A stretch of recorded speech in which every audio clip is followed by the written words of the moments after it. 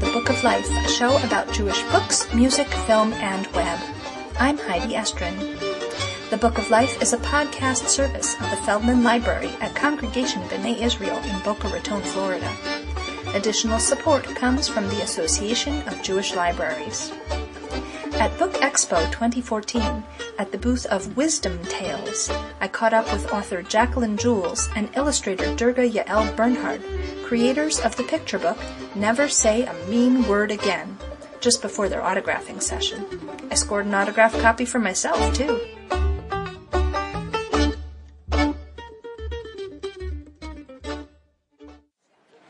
So I'm here at Book Expo with Jacqueline Jules and Durga Yael Bernhard, the author and illustrator of Never Say a Mean Word Again. So please tell us about the book. Well, I first saw this story in the Hertz Humash and this legend of Samuel Hanagid, and I looked at it and I said, this is just such an amazing story. I have to find a way to tell it for children. And it's, it's a story of two adults. And I had to translate it into a story between two children and also take out some of the scarier parts. And I worked on it for over a dozen years before I got it right. It was a manuscript that I had in my drawer and I would take it out and show it to my writing group and it wasn't quite right and then I put it back and I would take it back out. And when it's finally in this form, I said uh, to my writing group, I said, you've seen this so many times. I said, but this is the best version. and then I, I sold it to Wisdom Tales and this amazing artist did this incredible design and for this book, and maybe you can give us some more background on how you did that. Yeah, I want to start by saying I was so thrilled to work with Jacqueline because one of her books, Sarah Laughs, is one of my daughter's favorite books, and I've used it in my Judaics class because I also teach Judaics and Hebrew. So I was just so thrilled to have this opportunity.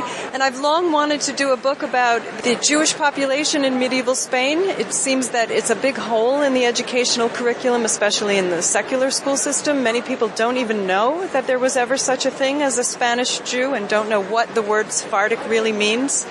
I've done a lot of multicultural books, so this was a great opportunity to do a different culture, and that's kind of developed into my specialty over the years. I've done a number of books that go around the world. This is one that's settled in one place, but the medieval iconography and art and history is just an illustrator's garden of delight. There's no end to it. I had enough material to illustrate a book ten times as long, and it was a matter of process of elimination to uh, decide on which designs to use and really let the story dictate. But there was a lot of weeding to be done in order to make the book clean, and I was happy that I had enough time to do it. Yeah. And I can add to that in terms of the richness of the medieval time. I read the tales of Alhambra. I did just a lot of research into that time period and the, the feel of it. It's just amazing. Yes. And the stories are so rich. And you just captured all of it. I was just very excited. Shmuel Hanagid actually was responsible for a lot of that richness. He did a great deal to support the Jewish tradition in Spain. He did a great deal to support scholars and poets and artists, and he founded a yeshiva, and he he was a phenomenal person. When he died, everything went downhill from there. Yeah. So summarize the book for those who haven't read it. All right, it's a story of two boys, Hamza and Samuel, and Samuel is the son of a vizier. But he's finding that being the son of an important man is not helping him make friends. And he's a rather socially inept, little clumsy guy, and he makes some, some very big mistakes, and he provokes Hamza to have a, uh, maybe a legitimate response, angry response, and so there's an incident between the two boys. And that can translate very much contemporary life. I mean, sometimes we have incidences between children, between adults. I mean, it was, it's bigger than a misunderstanding. And since Samuel is the son of a vizier, the vizier says to him, make sure that Hamza never says a mean word to you again. So you have a young boy who's given the responsibility to punish another. And he's not really sure. I mean, I, I, that idea, what would I do if I could punish somebody who hurt my feelings? That question really fascinated me as I was reading that. I'm, I'm a teacher too. Uh, you know, and also as a person, when somebody hurts your feelings, you have, you know, you have carte blanche to, to make them get restitution. And he, he comes up with some rather illogical things, very childish things. And then he starts getting a little more serious. At one point he goes with a paper and pencil and he says, I'm going to make Hamza write out a promise. And Hamza sees the, the, paper and says, I love to draw. So suddenly the boys are drawing. And he goes with a lemon. He's going to make Hamza eat the lemon. And Hamza says, ah, that would make a great wall. Let's play. And so slowly but surely he goes every day to make Hamza pay for his insult modern vernacular, we would call it a diss, maybe. it's a medieval, medieval story of a dissing situation. The donkey brain. My Judaic students started to pick that up donkey brain. It's not something that you particularly hear today, but they got a big kick out of that. But sadly, there have been contemporary situations where one person has insulted another that has ended so tragically.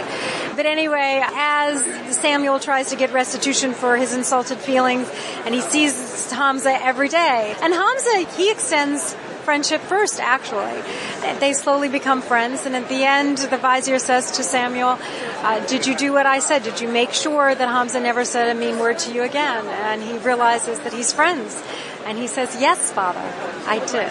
So it's a story of conflict resolution. And when I first saw this story, the adult version in the Hertz Humash, I was just so taken with it. it. It's very hard to translate an adult story into children's. That's why it took 14 years. And I can remember bringing it back to my writing group and them saying, I, I know you're tired of hearing this, but uh, you know, just give it one more try. Give me, you know, help me again. Sometimes you just have to let a story sit with you, and if you really are passionate about it, and you really feel that it has a message and something that can touch other people's hearts, that sometimes you just have to stay with it and, and so I did. it's such a good message, and as you say, it's timeless.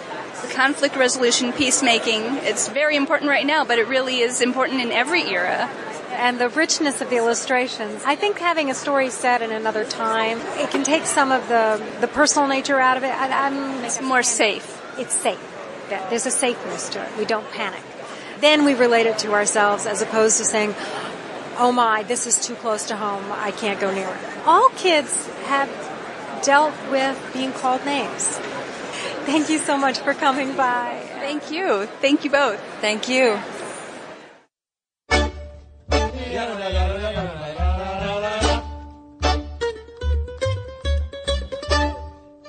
There are so many ways to connect with the Book of Life.